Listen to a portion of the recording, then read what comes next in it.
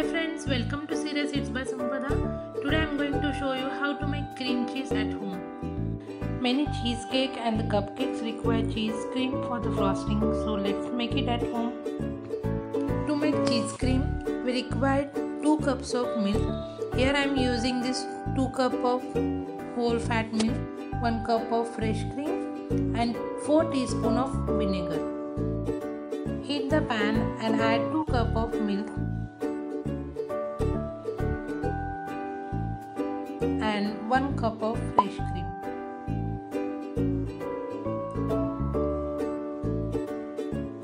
Add 2 teaspoon of vinegar. I am using 4 teaspoon but adding 2 teaspoon at a time and remaining I am adding later. You can see milk start curdling. So at this time add remaining 2 teaspoon of vinegar are making paneer out of it then 2 teaspoon of vinegar is enough for this much quantity. But cream cheese supposed to be little tangy so I am adding this 4 teaspoon of vinegar. So we will get nice tangy flavor cream cheese. Friends as you can see our milk is fully curdled. Now switch off the flame and strain the paneer.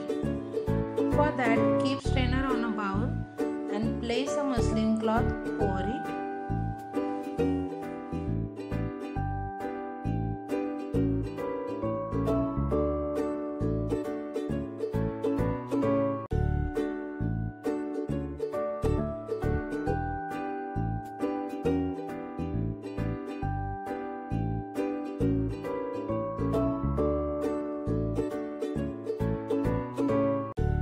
not squeeze the paneer tightly. Also do not wash it with fresh water.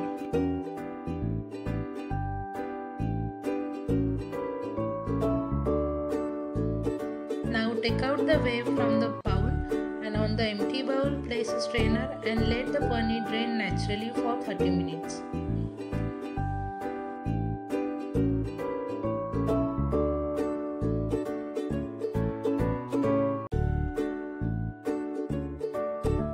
It's been 30 minutes.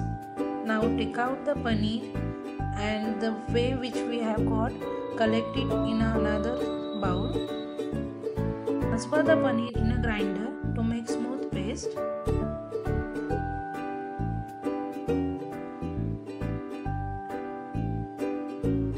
I am using vanilla flavor cream cheese so I am adding this 1 4 teaspoon of vanilla extract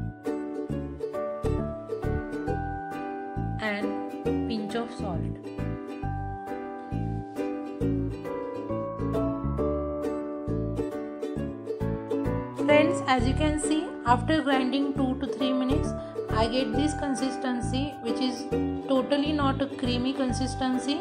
So I am adding 2 teaspoon of whey which we have collected and grinding again.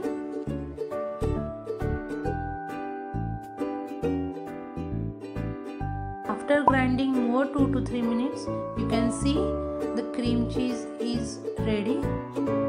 Can store this cream cheese in airtight container in fridge for 1 week.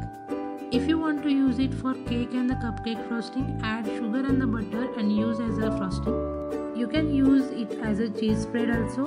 Just add more quantity of water while grinding or you can add chili flakes or garlic or any flavor that you want to use as a cheese spread. So friends, if you like my today's recipe then don't forget to subscribe my channel and hit the bell icon for new wonderful recipe updates.